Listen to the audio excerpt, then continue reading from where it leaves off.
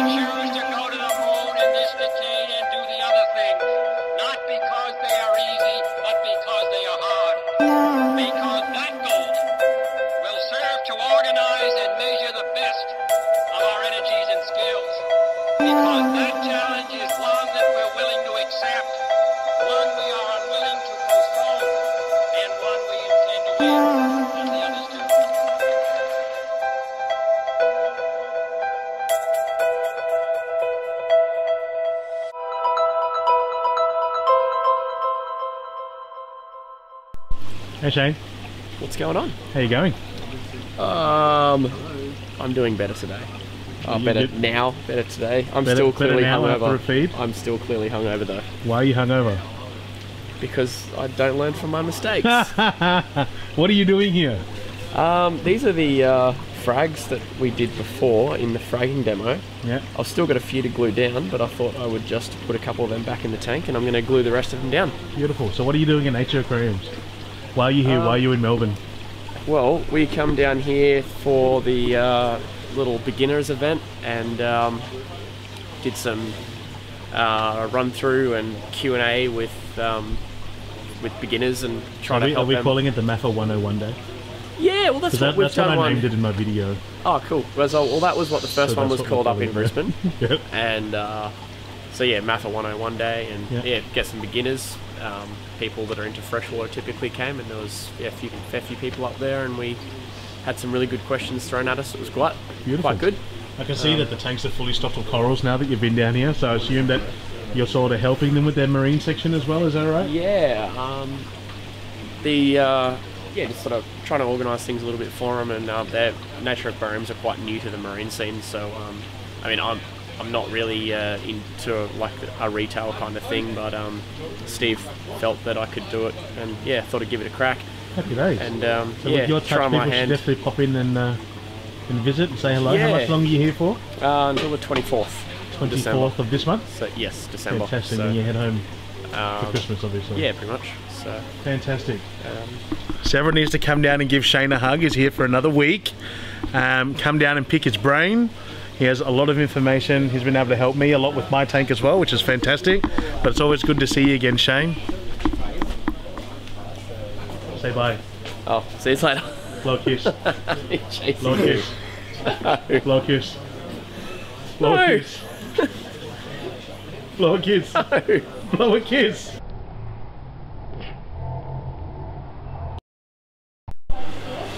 You have to bear with me because I'm probably going to lose my voice. Um, Why is that? because I'm irresponsible and was out till four o'clock in the morning. and I don't learn from my mistakes. Bloody Blenny. Yeah. Um, all right, I'm going to do a bit of a fragging demonstration. Um, basically, I should do the uh, PPE. You should wear gloves. These are interesting gloves um, because some corals have toxic slimes and things like that, particularly zoanthids or pallies which have halitoxin on them. Other corals um, can just sting you or have slime and irritating substances, little creatures like bristleworms and stuff like that, that when you break the coral apart, it's going to come out and get you on the finger. Well, there was, a, there was a family in Adelaide that found out about palytoxin the hard way, right? Yeah, that I forget whether that was fragging or whether they were trying to kill pests or something, but yeah, that was a fun hospital day for them. um, I have these, and I couldn't find the clear safety glasses, so I have these orange ones for when I actually do some cutting. And you don't want the coral slime in your eye; it's really bad. Um, first off, I'll start with showing you a few things we're going to use. Frag plugs, there's a million different types. Um, these are just ones that the shop carries. Soak them in water first, some of the aquarium water.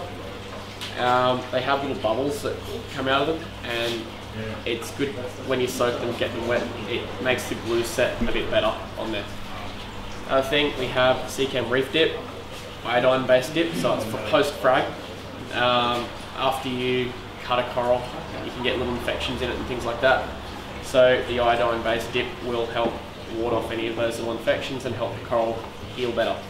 We have coral glue, and it's gel super glue, cyanoacrylate. Um, it's safe for cutting corals, gluing corals, all that kind of stuff. It's human grade. Um, and you use that to stick it down. You can use other things for bigger frags like putties and um, even like the Aquaforest Stone Fix and the poly glue as well, that kind of stuff. Um, different applications, different glues. Um, we have coral bone cutters. Um, you can buy these at all, all your good local fish stores.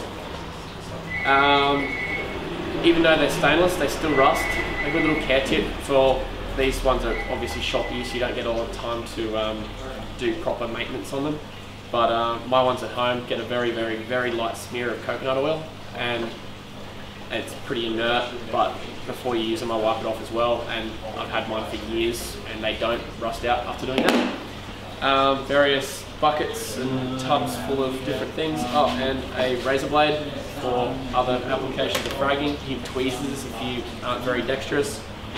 And another one you might want to use is a Dremel or any sort of rotary cutting tool, anything like that. This has an abrasive cut-off wheel on it, but the one I use at home has a uh, tile cutting blade, a little diamond blade. It's quite handy as well. I won't need it today, but I thought I'd just show you that you can use something like that as well.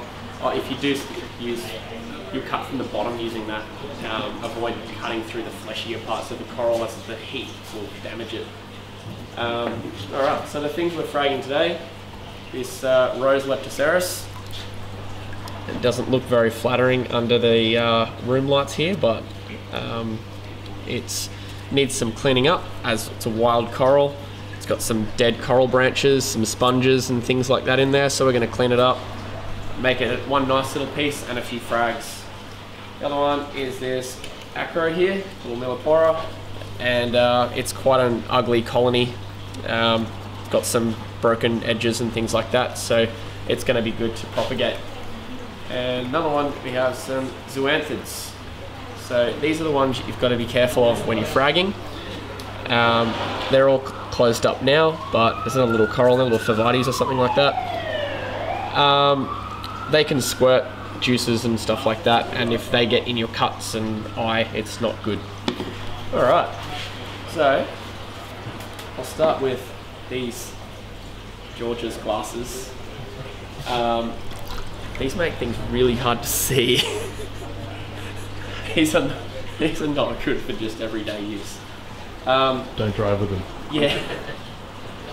Um, they're meant to stop things going in my eye, but they're wet, and now there's just crap all over my face. Anyway.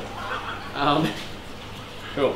So when you the size of the frag, um, especially in like your SPS, can um, improve. So a bigger chunk is obviously going to have a better chance at survival.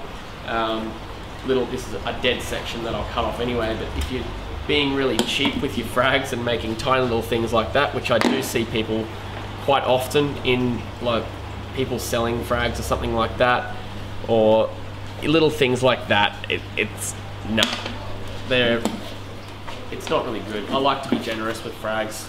So if you're gonna make one, get quite generous with it and then just crunch. It's just calcium carbonate. It crunches up and um, it shatters quite well with all your plating corals.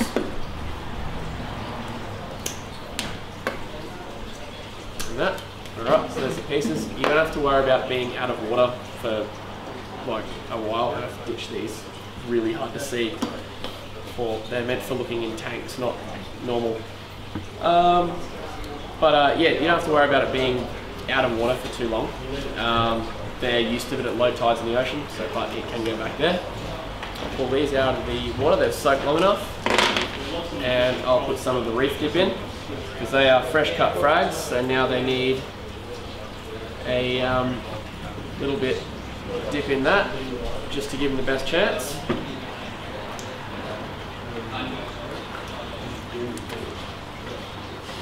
Alright. And um, then what you want to do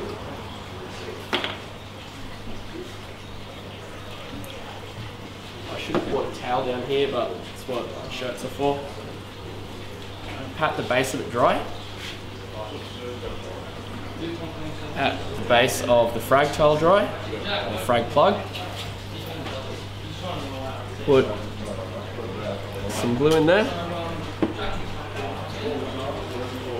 And stick that down. Make sure it's the right way up, particularly if it's a uh, in the in the daylight. You sometimes can't quite see the color of the coral, so you make sure it's the right way up. And done. Oop, that actually fell off. It's good though.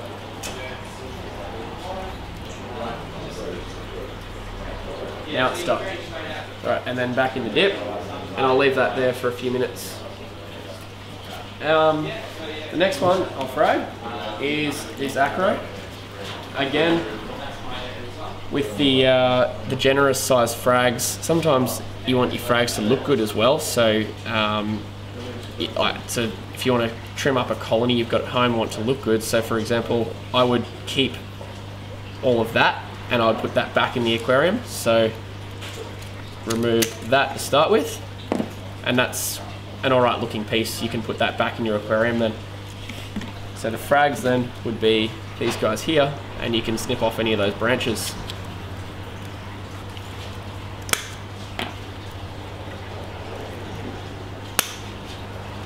In the splash zone at the front there.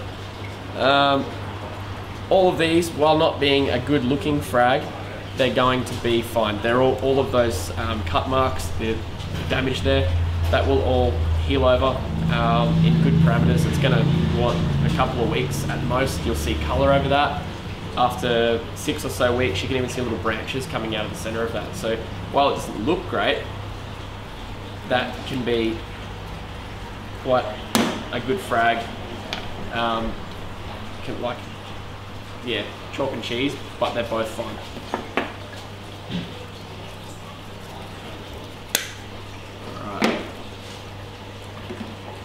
Alright. Into the iodine dip.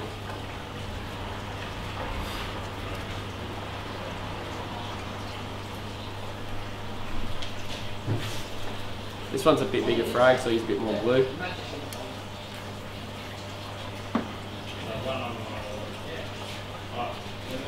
And wash off any debris on there as well. Have it dry. Sit it down in that glue like that. Um, if you wet it, the um, cyanoacrylate coral glue, it's uh, like moisture cure, so they um, it cures when it's wet and skins off as soon as you wet it. Um, this one might actually be better balancing up that way. I don't have a rack. I usually have a little egg crate rack or something. I'm half unprepared, but um, should be able to balance that there until it sets. And the coral will be fine out of the water. Um, as, especially in the shade indoors like that. Oh, look at that! We have uh, Winnie's just handed us a uh, little frag rack here. Oh, I've ruined it. Oh, they don't quite fit the holes. They're meant for the smaller plugs. It's alright. The thought was there. It was balanced and everything. I took it. Alright. You just have to trust me that that glue will set. Actually, that will work right there. Good. Cool. Yeah, you use that. That's a little magnetic frag rack that you can um, put inside of tanks. Looks like live rock. Cool. All right, the last one. I will put these back on because uh, these are the ones that you really don't want to get in your eye. The zoanthids. There's a couple of different ways you can frag them. Um, in particular, it's a really nice zoanthid, um, and you've only got a couple of them, and you want to share them around or propagate them, kind of thing. So then you're going to want to take single polyps out. So that's when you're going to need your razor blade. So you have to scrape the surface of the rock and right in underneath it.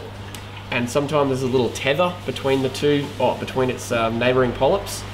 So you have to slice down at that. And then you can lift out that polyp there.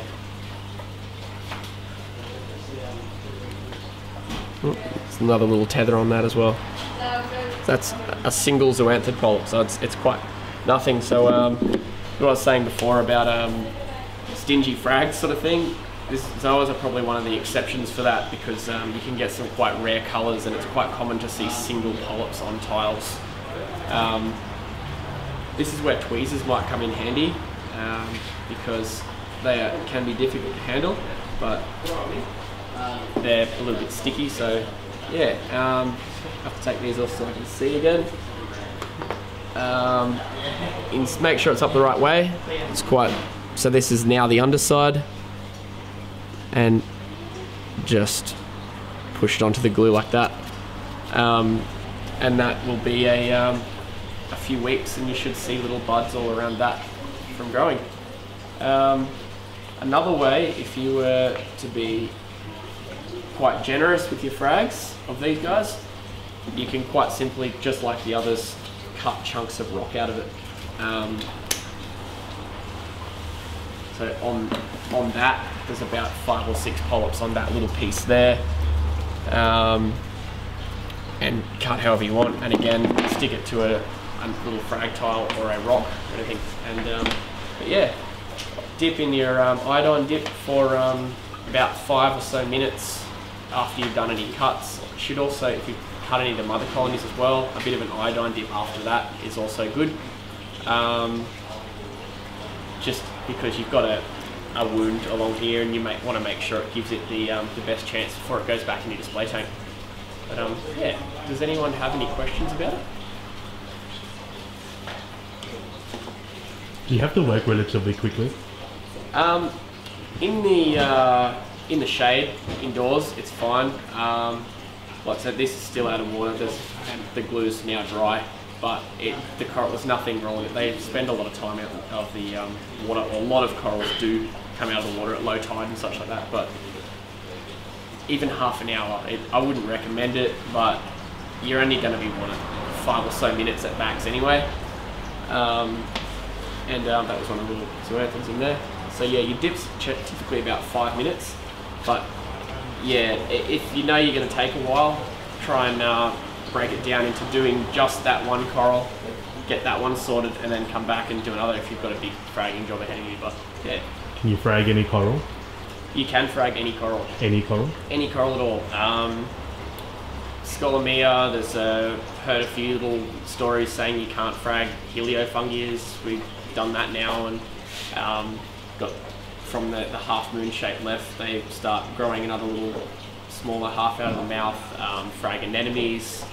That I really wish that would um, happen a lot more. A lot more fragging needs to happen. Um, sharing around and things like that. Um, especially with rarer type corals, it makes the um, yeah hobby that bit more enjoyable if everyone can have a rare coral or a nice coloured coral. Yeah. Are there ones harder to do than others? Um, typically, your LPS corals can be harder um, or a little bit less forgiving Um, so your Scolymia or something like that, once you frag that in half or in quarters, it's not going to grow again overnight. Like a, an acro frag, you can see that encrust in a week. You can have it encrusted the frag tile in a, in really good parameters. Um, zoanthids in a couple of weeks, you can see new buds, but LPS, so using scullies or hammers, for example, Takes forever. um, yeah, you're looking at years in most cases to get them to look like their parent coral again.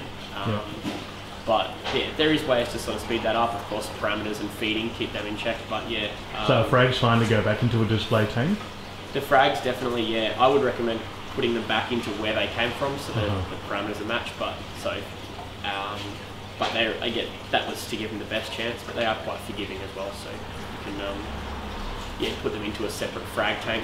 But typically use something like that or any type of frag rack that would be in your tank anyway. You grow them out and then trade them around with your friends or anything like that. So they don't need any special treatment once they're back in your display tank, like Nah, they're gonna- flow flow locations or anything like that. Um, the actually one thing I will say with the frag racks like these or anything when they tip them in a tank, um, when you have your corals um, that you've taken out of the display, say they're usually on the sand bed, you can they can sometimes look like they're suffering, not doing quite well. And it's mainly because of the change. You've had them down here, you frag them, and then they suddenly end up here right under the light, so you're burning them. Um, that's one common thing that I notice. So if you keep the corals that you fragged in a similar location to where they came from, so don't necessarily move a frag rack all the way to the top of the yeah. tank. Um, when I do frags, actually, I keep all mine on the sand um, for a few weeks, just like lower light, and if, then I put them back up if I need it. So yeah. Cool. Um, or you could move the frag rack down. Yeah. Yeah. Would you frag inside of the tank? Can you frag inside, like cutting? Yeah. Um, if if your acropora or anything like that is encrusted to the, um, I'll take these out of the reef dip now and put them in this. But if your acropora is encrusted to your rock work, you certainly can frag inside the tank. Um, it make sure if you're using bone cutters or anything like that, just make sure they're free from oil or clean, because you don't want to put any contaminants in the tank. But yeah, you can reach down there and cut chunks off that. Um, but yeah, on- once you bring it out, then that's when you'd work on the frag outside the tank. You can use um, these glues underwater, but you have to be really careful. Keep pressure on them, and if you let any water suck back up inside the um, bottle, it's all over. It's ruined the bottle. So um, yeah, it, it's going to be easy to do out. But yeah, you certainly can cut the corals underwater, especially if they're glued to your rock work. So, yeah. Awesome. Thanks, Shane. No worries. Been sitting there. It's just a grey cement powder that you. Um, it's reef safe, of course. Um, it sets quite fast, and um, you don't need a lot of water. When I first used this, I thought it would be like normal cement mix for fence posts and stuff. I think I made it too runny. So, but yeah, you don't need a lot. It does say to mix it with a um, spoon, but I don't, don't really have one at my fingertips right now, so I'm going to get a little bit dirty here. It's great.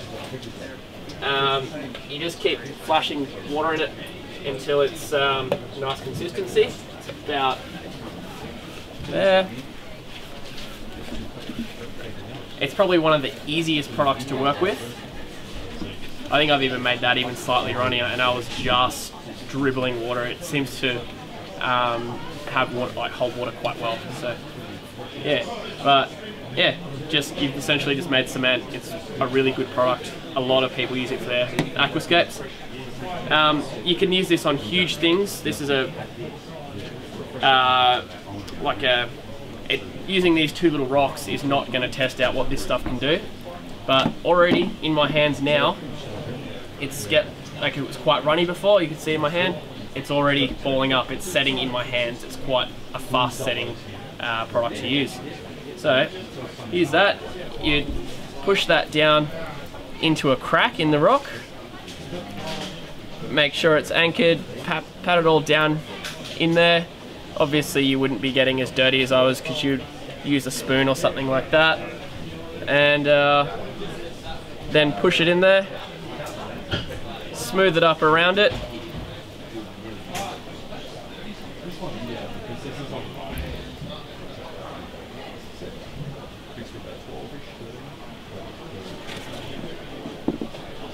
It's already. I mean, it's holding itself right there.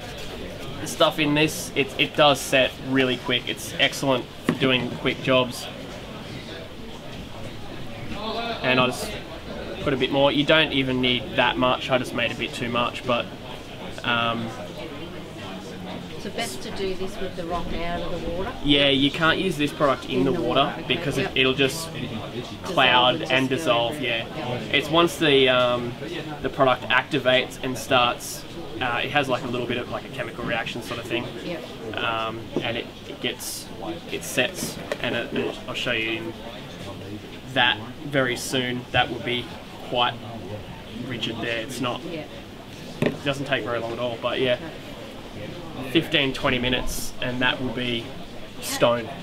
So, um, you can use it, use the uh, the stone fix on wet rocks, but if you bear in mind that the moisture off the rocks will add to the moisture in that, make it quite runny, um, change the curing times and things like that. but yeah, you will not get those apart. That is, it is a quite a good product. A lot of people using it for escapes over putties and things like that. But um, yeah, it's that's basically it. Um, if you're using it, um, I don't know if people are familiar with cement and concrete, you probably shouldn't get it on your hands because it does dry your hands out and oh, it's not too bad when it's, yeah, I'll flush it really good, but um, yeah, use a spoon like the instructions say. I didn't really have one on me, but yeah, about 15 minutes later, that is never coming apart. So yeah. Thank you. Thank you. So we're here with Stephen from uh, Nature Aquariums, the uh, king of the aquarium here. Um, he's going to just have a quick chat with us about the prize that's out behind us here and some of the lovely sponsors that jump on board to actually make it happen. So, how you doing, Steve? Thank you, David. I'm doing very well. We've had a fantastic weekend. Been a very Um, busy weekend. Thank mate. you to everyone. Uh, I just want to run through, through quite a few of those thank yous, and I hope I don't forget anybody. Yep. Um, first, thing, first, a lot of people I want to thank is the staff here at Nature Aquariums. Um, it's been a tremendous effort by them. Uh, we've got 11 people on the team, and uh, they've all worked really hard. Uh, so thank you to the team here at Nature Aquariums. Well done. thank you to the suppliers. Um, I'll, I'll talk you through the CADE here and the various suppliers that have Yep. assisted in donating free. Yep. All of this product we're going to give away in one hour's time. We'll start with the tank. It's a Cade Pro Reef tank, um, the best of the best. We have a, a glass panels and aluminium tank, so you, you, your seawater can't get into it and damage it in any way. It's a great tank, that's why I picked it myself. Uh, well, that's why we've got them everywhere in here in the room too. Yep. And there's another one here. Um, which, which, is on sale, by the way. yeah, well. If someone comes down by six o'clock today, they'll get they'll get, take it. uh, they'll get uh, four hundred dollars in coral with that tank. All right. Um, so this in the in the sump setup here, um, we have a, um, a, a Hammond skimmer from Joel that's been donated. We have this fabulous new Pax Bellum. There, there's this big brother there, looking like a Christmas tree. Um, fabulous chaeto reactor for nutrient reduction. Um, we've also got um, a, a reactor in here. Uh, it's all running and running very well. We're going to take the water out to move it when someone wins it though. Yep. Um, up top, we have uh, the Focustronic light, which is in this demo mode now. So there, there it goes. So you'll see that moving around. So it I follows spoke, I spoke sun. to David before about that. So I like um, moves that's all around. part of it. There it goes again. Um, we've got a Glamorca in here for fabulous flow as well. So you've got the great um, crossflow pump there providing lots of flow when we get that in there. The real reef rock's been donated by Addicted to Fish as well. Um, and a, a lovely neat little scape there, lovely little bomb in the middle with lots of space around the side. Um, and, and, and you know what started it all, as I say, thank you to uh, CADE Australia for that donation to kick us off. So none, none of the other those things would have happened without that. Um, so thank you so much to the suppliers. Tremendous effort.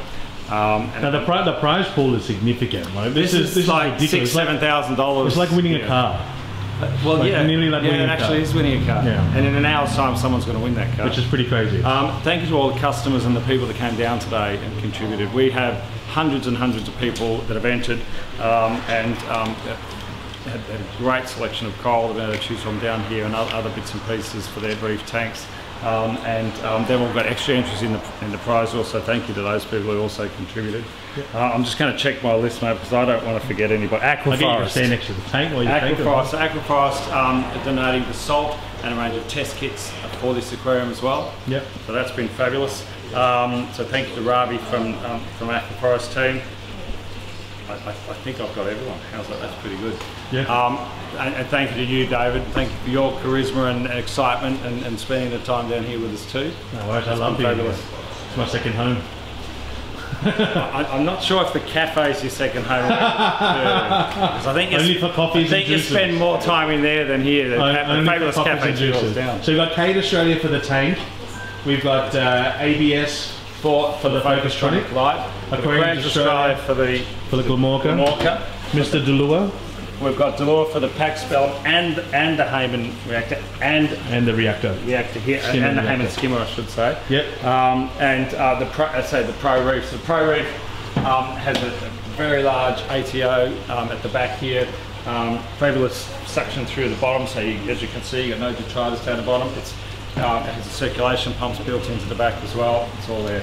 Yep. Um, So it's, a, it's, it's an everyone. incredible prize. It's, it's, it's, actually a it's a ridiculous car. Yeah, it's, a, it's like a car. I'm hoping the truck that I've booked at 4.30 to come and pick it up no, mate, is sorry. going to be picking it up You, for me. you've got one entry, and you've probably got about one in about four thousand. So good Yeah. luck, but That's fine. Yeah. I believe in fate. but uh, it's been a great weekend. A lot of people have come down. I've actually met quite a lot of uh, people who've seen my YouTube stuff, which is pretty cool Oh, as well. oh, Been able to meet a lot of uh, actual distributors and suppliers, um, which is really interesting to be able to like chat to people. Um, and find out what's going on with their company. I think 2018 is going to be an incredible year for the marine hobby.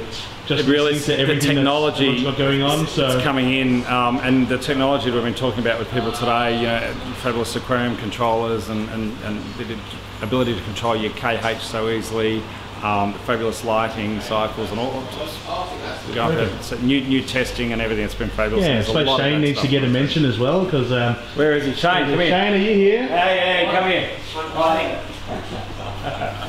I'm just busy Shane, hiding. Thank you. Thank you. No worries. And thank you to MAFA. Last thank you is to MAFA. Uh, Marine Aquarium Fanatics of Australia. Close on 10,000 uh, fanatical Australians, crazy all of them, um, in that group. Um, the group's a fabulous group where you can go to get information. I particularly like the MAFA resource page. If you go to MAFA and you look at, there's a link up the top unless I'm wrong, uh, there's a MAFA resource link and there's a whole pile of information, all of this stuff here we printed out, you can get on the MAFA resource page. Fabulous for anyone, beginners or not, you know, everything from quarantine to ATOs and skimming and nitrogen cycle.